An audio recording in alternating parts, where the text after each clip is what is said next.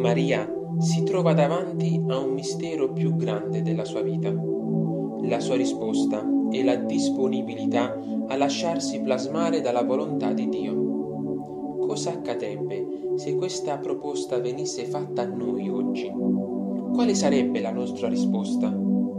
Ecco un buon spunto su cui meditare durante la festa dell'Annunciazione. Chiediamo a Maria la grazia di saper dare a Dio la risposta che Egli aspetta da ciascuno di noi.